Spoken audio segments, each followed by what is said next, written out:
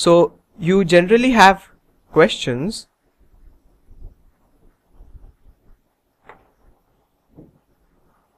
Like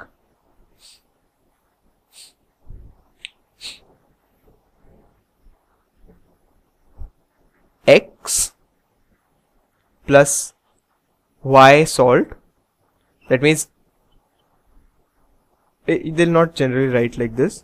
They'll write x plus salt of metal y gives salt of metal x and the element uh, the metal y so can x be calcium and y be sodium? That is the question. Can is this combination of x and y possible for this reaction? So you'll see that and they'll obviously uh, whenever there is a can or say yes or no sort of a question you always have to give the reason. You can't just write yes or no. The reason is always implied even if though it is not given in the question you have to write the reason so this X is calcium and Y is a salt of sodium.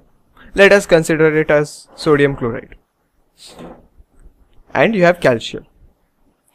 So, can calcium knock out sodium? It means in the reaction this is happening. That X is knocking out Y and making a salt of X and giving Y. So can calcium knock out sodium from its salt? The answer lies in the reactivity series. You'll see that sodium is higher than calcium in the reactivity series. So, since calcium is lower than sodium, it cannot knock an element which is higher than itself from, from its salt solution. Cannot displace. So, this reaction is not possible and hence, but they are saying that this reaction is happening. So, can this uh, X and Y be calcium and magne uh, calcium and sodium? So the answer is no. And the reason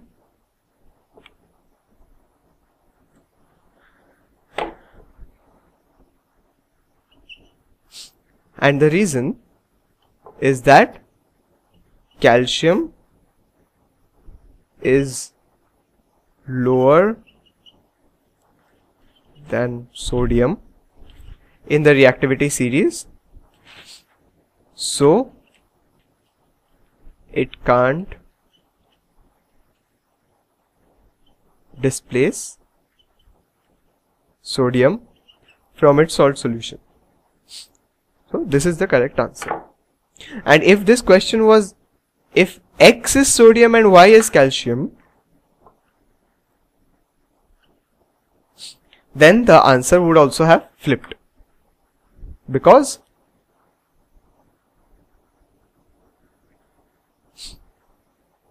calcium is lower than sodium so sodium will obviously be able to displace calcium from its salt.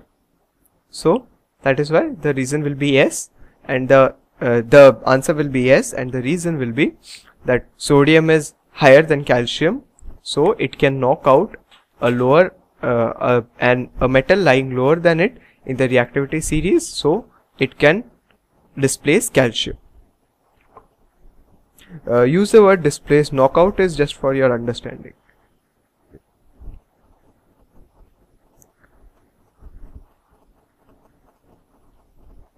They'll also give you questions, similar questions like um, zinc and FeSO4 gives ZnSO4 plus Fe. Is this reaction possible? So you will just check the reactivity series. You'll find that zinc is above iron in the reactivity series. So it has the ability to displace iron from its salt. So and it is displacing in this reaction. So that is why the reaction is possible. In here also you have to give the reason. And for giving the reason, you have to remember the reactivity series. Just remember that these potassium, sodium, calcium,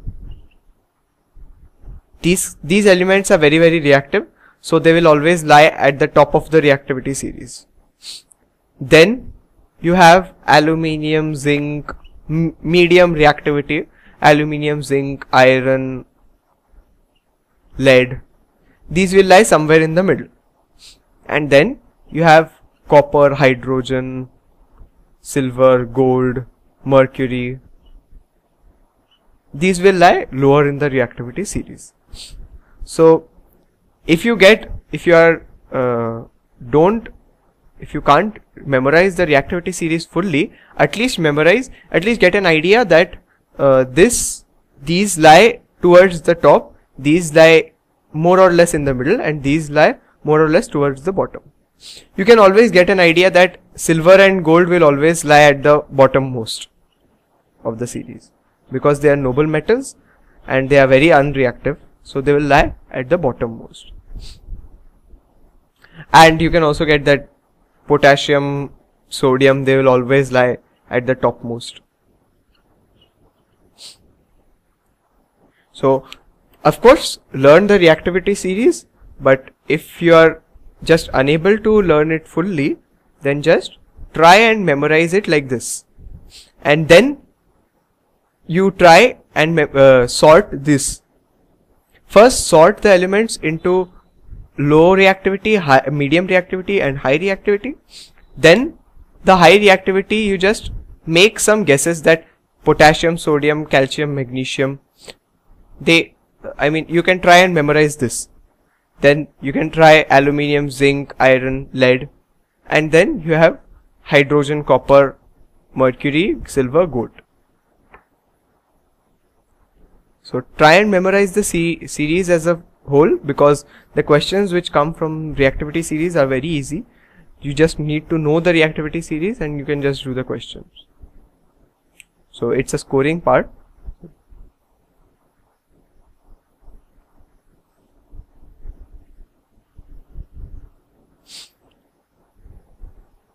Next, we come to this topic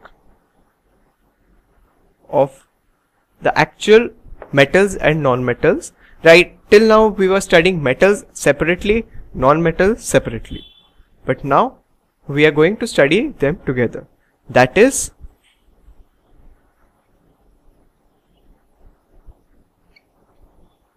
compounds of metals and non-metals.